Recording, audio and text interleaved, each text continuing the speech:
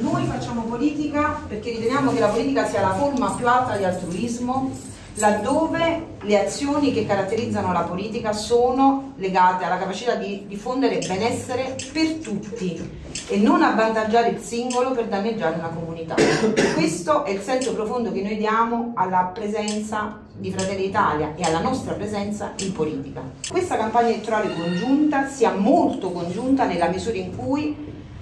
l'Italia cambierà l'Europa e l'Europa cambierà Avellino, perché non sfuggirà a nessuno che questa città non ha avuto un euro di programmazione comunitaria. Eh, uno dei motivi per i quali noi non abbiamo mai abbassato la testa è perché abbiamo sempre teso a un'asticella più alta. È arrivato il momento di alzare il livello della qualità di questa amministrazione, di questa classe dirigente, della classe dirigente di questa provincia e la sfida è cercare di creare le condizioni per diffondere il benessere al nostro territorio. Siamo impegnati in Europa anche per questo, per dare voce a questo territorio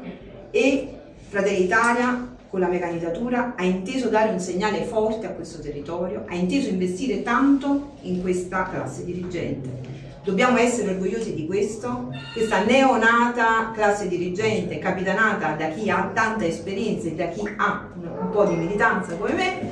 sicuramente si farà valere e dimostrerà di essere all'altezza perché noi abbiamo la capacità di programmazione, abbiamo la visione.